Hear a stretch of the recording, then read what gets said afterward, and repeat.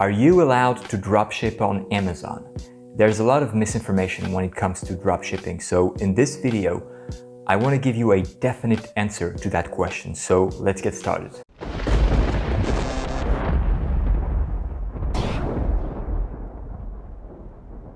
Hey guys, it's Joe from Profit Wolf, and as you know, in this channel we teach you the truth. We've been selling on Amazon for several years now, and everything we advise you to do, we are doing it ourselves. So to be totally transparent, we are not trying to sell you a course, we are a software company, which means we build applications and tools for Amazon, which means that ultimately your success is our success. Because if you become a successful Amazon seller, then you will stay our client for longer. So all the advice that we give you is genuine and tested. And all the tools and applications that we build, we also use them because we are not only a software company, we're also Amazon sellers. So it's in our best interest to build a good ecosystem for everyone. Now let's look at the official Amazon policy regarding dropshipping. So let me just pull it up here. Dropshipping or allowing a third party to fulfill orders to customers on your behalf is generally acceptable. If you intend to fulfill orders using a dropshipper, you must always. And then Amazon lists you all their conditions. Now, I'm not going to read everything, I'm going to summarize. But the first line, their first condition, is actually their overarching rule from which everything comes. So, their main rule here is that you must be the seller of record of your products. And then the two main rules that come from this rule is that when you sell an item that you dropship on Amazon, it cannot contain any invoices or any price from the previous supplier, from your supplier. That's the first rule. And second rule, the product cannot contain any branding from your supplier or your retailer. Let me recap. First rule, when you ship something to a customer using a retailer or your supplier, it cannot have an invoice from that supplier. Why? Because let's say that your customer paid something for $40 on Amazon and you buy it as a seller, you buy that item for $25. Now, you bought it for 25, you send it to the customer who paid $40. If there's an invoice in that box, it's going to be the price that you as a seller paid. So the customer is going to receive an invoice for $25. So you see the problem here. That's a big problem because the customer is obviously going to receive that. He's not going to be happy. He's going to complain. And that ultimately will result in you getting a suspension. So that's the first condition. Second rule is that the box of your item, the box of the item that you ship to your customer, cannot have any branding from your supplier. This means that if you, for example, buy your items at Walmart, if you dropship from Walmart, and the customer receives a box and the box says Walmart, well, that's against Amazon's terms and conditions. Now, I have three packages here that come from three different retailers, and we're gonna look at them together. So by the way, these are all French retailers because I live in France and I do almost all my dropshipping from French retailers to French customers. So first box here, as you can see, clearly it states the name of my retailer, of the place where I bought this. So that's the first thing. Does that violate Amazon's terms and conditions? Yes, it does. Now let's look at what's inside the box. So I'm not gonna take it out, but there's an item and basically when you take everything out, there is no invoice.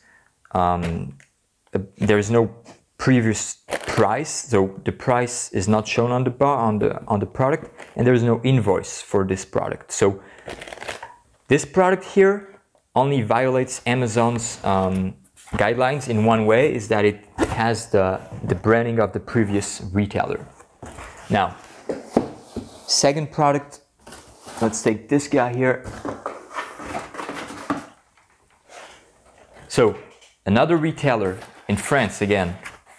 The box here does not have any branding. So it's a generic cardboard box. So, so far, so far it doesn't violate Amazon's dropshipping terms and conditions. Now, if we look inside, there's a product, but problem, there's an invoice. An invoice for the price that I paid, that I as a seller paid for the product. So this retailer, you cannot dropship directly to Amazon. And now I have a third retailer for you. It's this guy here. Now, box, no branding, no nothing. Okay? Product inside. It's summer, it's hot, so I bought a fan. There's no branding, no previous price. You see, there's no stickers with the price. And inside the box, there's no invoices. I don't know if you can see, but you trust me. There's no invoices. So this retailer here is ideal to dropship from the retailer directly to the customer. So if you want to be 100% compliant with Amazon's terms and conditions, you cannot ship from the first two retailers that I showed you. First one, it had the branding on the box, you can do that. And second one, it had an invoice in the box. The third one is the only retailer you can use to dropship directly. Now, that's if you want to be 100% compliant with Amazon's terms and conditions. Most dropshippers on Amazon, they still send items where the box has the branding on it. I myself and all the users, or almost all the users of our dropshipping function, they do this. And so far, none of them has been suspended by Amazon. And the reason is very simple, is because when the customer gets the product, generally they don't really pay attention to the box. They open it and they get the product. If they don't see that the price is lower than what they paid because there's no invoice, that's totally fine. Now, if they ever wonder about uh, the branding on the box, well, you can always tell them that you used an old box that you had at your home to ship the item. That's always something you can say. Second thing you can say is that you're using another retailer's logistic. You know, there's Amazon Prime. Well, in France, we also have a lot of different um, companies that do the same as Amazon Prime. Well, you can say your items are stored over there and you just use that logistical place to ship the items. There's always excuses basically to do that. Now, I understand that this violates the policy, but out of almost 1,000 orders that I placed, and that's just me, I didn't get any single complaint. And that's just me again. So imagine all the other sellers doing that. Nobody ever got any trouble. So to summarize, if you want to comply 100%, then you can only send stuff where the box has no branding and where there is no invoice in the box.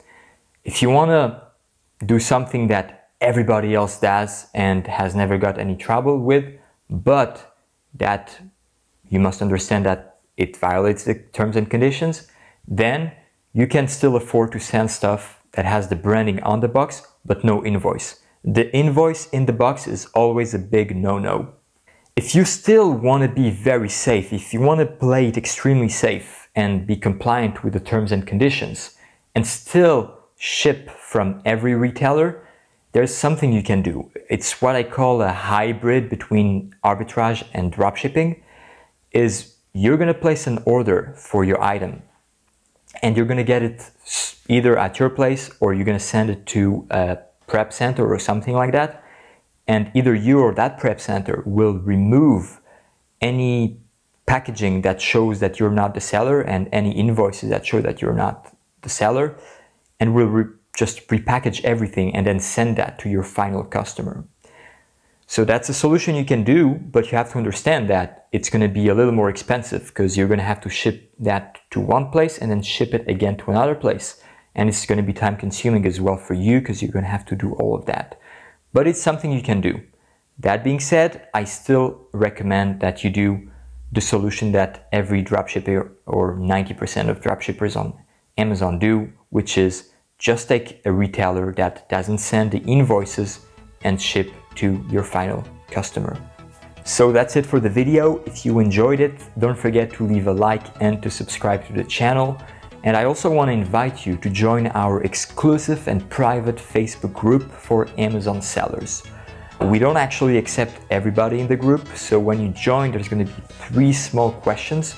And in order to be part of the group, you have to answer those questions. And then you'll see that there's going to be a lot of sellers like you like-minded people who are crushing it every day and you're going to be able to ask your questions. You're going to be able to help other people as well if you're more advanced. So I really invite you to do so. It's a great community. And with that being said, I wish you a great day and I'll see you in the next one. Bye bye.